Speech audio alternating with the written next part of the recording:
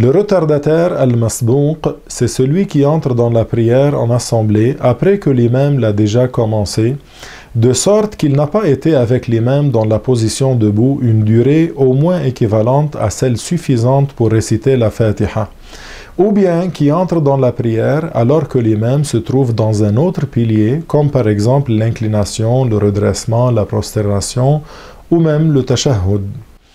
Que fait-on lorsqu'on est retardataire?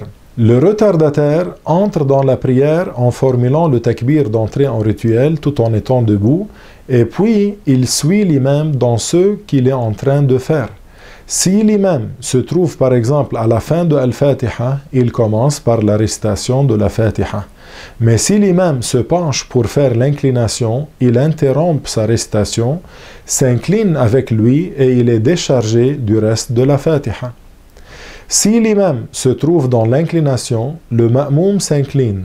Il accomplit la quiétude dans l'inclination avant que l'imam ne se relève. La rak'a lui sera comptée. Mais s'il n'a pas accompli la quiétude avant que l'imam ne se relève, il accomplira une rak'a après le salam de son imam.